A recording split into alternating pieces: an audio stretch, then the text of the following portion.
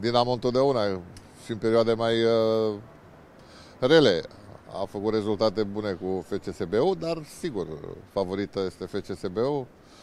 Uh, sunt o echipă în formă la ora actuală, cu jucători foarte buni. Deci, sper pe un uh, joc frumos și cred că câștigă FCSB. Fără Denis Man, nu să fie mai ușor pentru Dinamo? Nu, nu. S-a văzut și cu, la meciul cu Iașu că are cine să-l înlocuiască. FCSB-ul la ora actuală cred că e, e favorită și la titlu. Aveți așa o satisfacție după acest transfer? Ați contribuit la aducerea lui Denis la FCSB.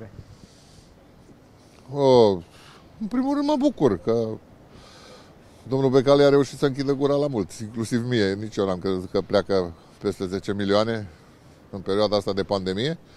Bravo dânsului, baftă lui Man și să mergem înainte. Seria un campionat tare.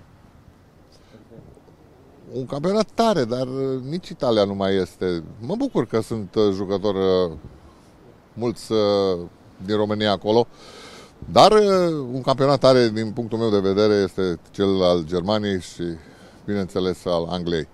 Dar uh, și campionatul italian este un campionat foarte bun și sper să facă față. Credeți că va fi afectat, credeți că va fi afectat de toate discuțiile astea care s-au generat în jurul transferului? Pentru că au fost niște cuvinte dure aruncate câteva. Nu știu cât uh, va fi afectat, uh, dacă va fi afectat din punct de vedere financiar.